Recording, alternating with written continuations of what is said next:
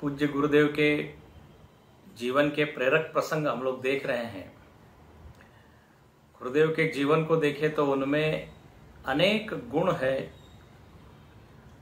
और वो गुण समय समय पर प्रकट होते रहते हैं। गुरुदेव चूँकि ब्रह्म ज्ञानी थे, आनंद स्वरूप थे इसलिए उनके व्यवहार में वो आनंद झलकता था प्रकट होते रहता था व्यक्त होते रहता था। और इसलिए उनके सानिध्य में रहने से सारे दुख विस्मृत हो, हो जाया करते थे। एक बार जब वो विदेश से आए तो एयरपोर्ट पर जो कस्टम डिपार्टमेंट होता है उसमें से जाना पड़ता है। तो वहाँ पर उन्होंने ऑफिसर ने पूछा, आप कुछ सामान तो नहीं लेके आए विदेश से? तो गुरुदेव ने उसके कान में जाकर धीरे से बोला, जो ऑफिसर था। क्या कहा? बोले, मैं विदेश से लोगों के मन को चुरा के लेके आया लोगों के दिल को हृदय को। ऑफिसर भी मुस्कुरा दिया। और सही बात है, पूज्य गुरुदेव जहाँ भी जाते थे, लोगों का दिल जीत लेते थे। उनके प्रवचन इतने प्रभावी हुआ करते थे। उनकी वाणी में ओज था, तेज था। और साथ में विनोद हल्का फुल्का मज़ाक, हास्य, उस कारण से उनके प्रवचन कभी भी उबाऊ नहीं होते थे। एक बार एक प्रवचन में कोई व्यक्ति आया और वो कम्युनिस्ट विचारधारा का था।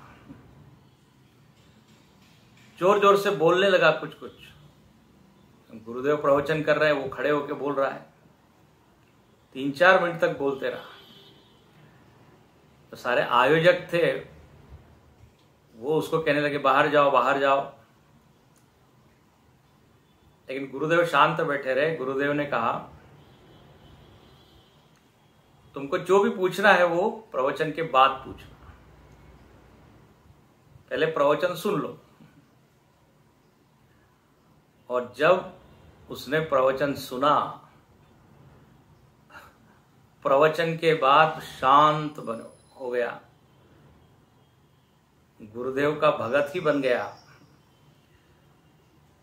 सारे उसके प्रश्न विलीन हो गए।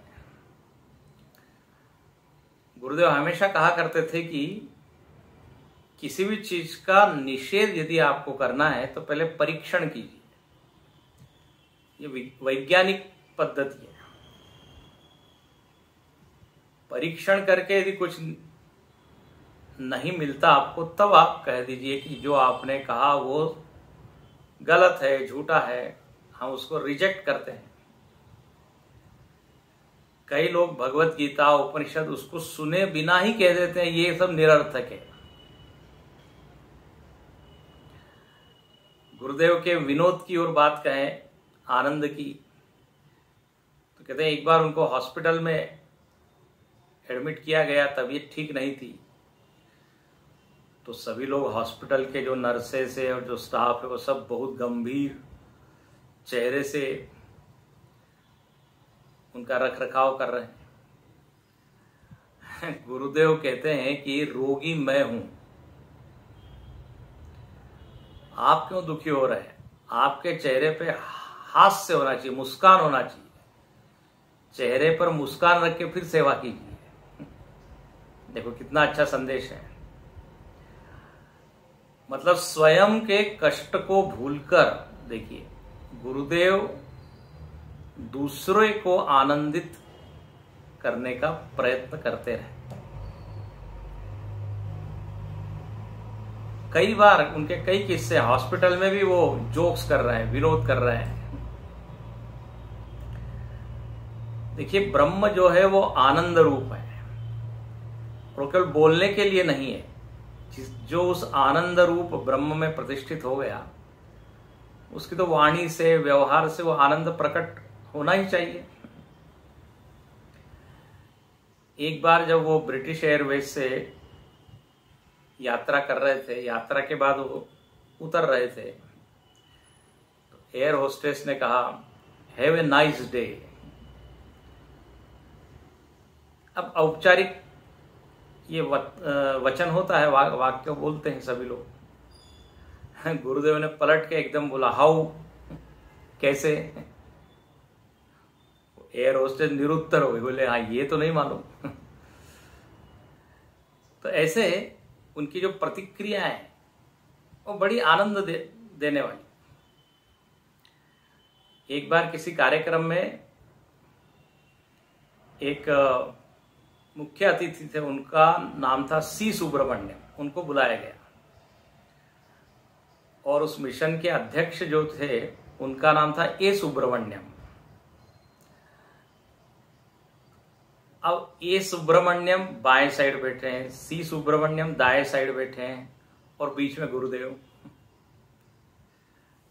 जब गुरुदेव के भाषण का व्यक्त आया, वक्त आया, समय आया तो गुरुदेव ने एक मैसेज दिया। लोग पूछते संदेश में से। तो ए सुब्रमण्यम एक साइड है, सी सुब्रमण्यम दूसरे साइड है। तो गुरुदेव ने कहा, बी सुब्रमण्यम। अब देखो, इसमें दो बात हो गई। मतलब ए और सी है तो बीच में बी होना चाहिए। और उसका गंभीर अर्थ क्या है? बी सुब्रमण्यम, भगवान की तरह हो। सुब्रमण्यम कार्तिकेय भगवान का नाम। उनके जैसा दिव्यत्व हम में हो, यही मैसेज है। तो इसको कहते हैं प्रेजेंस ऑफ़ माइंड हाजिरी जो आप कुछ प्रसंग में इस तरह से कुछ बोलना कि लोगों के चेहरे पर हँसी आ जाए। एक बार एक लड़के ने पूछा बड़ा पढ़ा लिखा लड़का था। तो गुरुदेव, आप इतने पढ़े लिखे, इतने इंटेलिजेंट इंग्लिश में एमए किया और ये आपने दुनिया क्यों छोड़ दी? ये सन्यास ले लिया। अब वो लड़का चुइंगम खा रहा था और ये प्रश्न पूछ रहा था। चुइंगम खाते खाते तो गुरुदेव ने उसको उत्तर दिया या उससे कहा ये मुँह में चुइंगम कब तक खाते रहोगे तो मैं प्रश्न कर रहा हूँ, आप पूछ रहे ये। नहीं नहीं, उत्तर तो दो। उत्तर तो दीजिए। भले इसमें जब तक टेस्ट आ रहा है, रस आ रहा है, तब तक तो मैं इसको खाऊँगा, उसके बाद थूक दूँगा। गुरुदेव ने कहा, दुनिया भी मैंने अनुभव की और जो उसमें रस नहीं मिला और उससे ज़्यादा रसीली चीज़ मिल गई तो छोड़ दिया। वास्तव में गीता का एक श्लोक है, उसमें आता है, परम दृष्टवा निवर्तते। जब हमको ज़्यादा आनंददायी चीज़ मिलती है तो जो कम सुख देने वाली चीज़ है, उसका त्याग हो जाता है। तो गुरुदेव ने कितना अच्छा उदाहरण दिया। उसी के मुख में जो चुंगम था, उसी के, उसी को उदाहरण बना लिया विद्वान लोग इस तरह कितने बुद्धिमान होते हैं। और सामने वाले को इस तरह उत्तर देते हैं कि वो हमेशा के लिए उनके मन में टंकित हो जाता है, अंकित हो जाता है, हमेशा याद रहता है। गुरुदेव किसी से दो मिनट भी मिलते थे, लेकिन सौ प्रतिशत मिलते थे। जीवन भर लोगों को उनकी स्मृति, उन्होंने जो कहा, वो याद रहता था। लोग कहते हैं, बोले, अभी भी उन्होंने कहे हुए वाक्य कान में गूंजते हैं। तो ऐसे प्रभावी, ओजस्वी, तेजस्वी गुरुदेव को हम प्रणाम करते हैं। हरिओम।